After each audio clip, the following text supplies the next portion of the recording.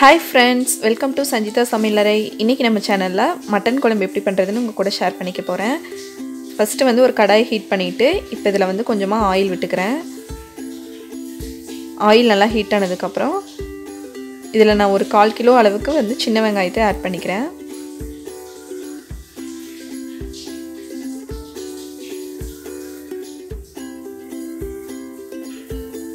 அடுத்ததாக ஒரு கொத்து கருவேப்பிலை ஆட் பண்ணிக்கிறேன். அடுத்தது நான் ரெண்டு பச்சை மிளகாய் ஆட் பண்ணிக்கிறேன். பச்சை மிளகாய் வந்து இதுக்கு நல்ல ஒரு ஃப்ளேவராக இருக்கும் இந்த மட்டன் குழம்புக்கு. இது நல்லா கோல்டன் ஆகிற வரைக்கும் வணக்கிக்கலாம். இப்போ வெங்காயம் பச்சை மிளகாயெல்லாம் நல்லா வணங்கிருச்சு. இப்போ நான் ஒரு பெரிய தக்காளி ஆட் பண்ணிக்கிறேன் அதில். ஆட் பண்ணிவிட்டு ஒரு நிமிஷத்துக்கு நல்லா வணக்கி எடுத்துக்கலாம். அடுத்தது ஸ்பைசஸ் ஆட் பண்ணிடலாம். அரை டீஸ்பூன் வந்துட்டு மஞ்சள் தூள் ஒன் டேபிள் ஸ்பூன் மல்லித்தூள் ஒரு டீஸ்பூன் வந்துட்டு சீரகத்தூள். அடுத்தது ரெண்டு டீஸ்பூன் வந்துட்டு மிளகுத்தூள்.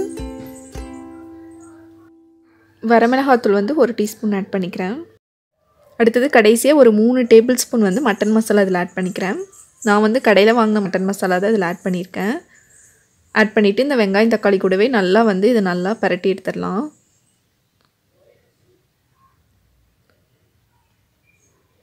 ஒரு நிமிஷத்துக்கு நல்லா பரட்டினதுக்கப்புறம் இதை ஆற வச்சு அரைச்சி எடுத்துக்கலாம். நான் வந்து குக்கரில் தான் செய்ய போகிறேன் ஈஸியாக செஞ்சிடலாம் குக்கரில் இப்போ நான் ஃபஸ்ட்டு குக்கரை ஹீட் பண்ணிவிட்டு இதை நான் வந்து ஒரு ரெண்டு டேபிள் ஸ்பூன் ஆயில் விட்டுக்கிறேன். ஆயில் ஹீட் ஆச்சு நான் அதில் ஒரு பிரெஞ்ச் இலை சேர்த்துக்கிறேன்.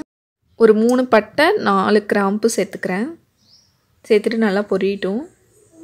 அடுத்ததாக ஒரு ஸ்பூன் சோம்பு ஒரு வரமிளகாய். அடுத்தது ஒரு கொத்து கருவேப்பிலை அப்புறம் இஞ்சி பூண்டு பேஸ்ட்டு ஒரு நாலு டேபிள் ஸ்பூனு. நல்லா பச்சை வாசனைலாம் போகிற வரைக்கும் இஞ்சி பூண்டு பேஸ்ட்டு நல்லா வணக்கி எடுத்துக்கலாம்.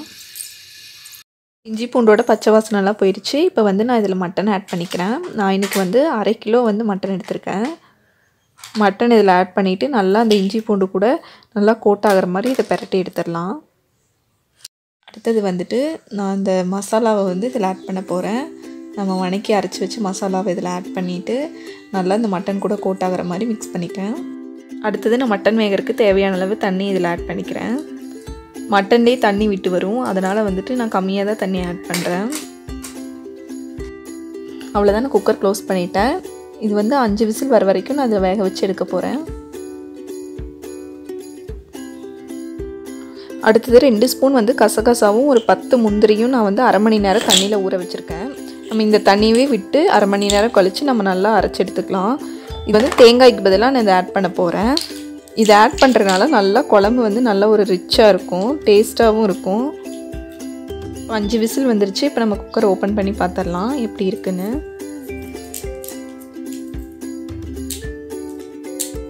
நல்லா எண்ணெயெலாம் பிரிஞ்சு வந்திருக்கு. மட்டன் நல்லா சாஃப்டாக வெந்திருக்கு. இப்போ நம்ம இதில் முந்திரியும் கசகசாவையும் அரைச்சதை இதில் ஆட் பண்ணிக்கலாம்.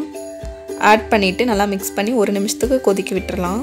இப்போ குழம்பு நல்லா ஒரு கொதி வந்துருச்சு. இப்போ வந்துட்டு நான் அதில் வந்து ஒரு கைப்பிடி அளவு வந்துட்டு மல்லி இலையை ஆட் பண்ணிக்கிறேன்.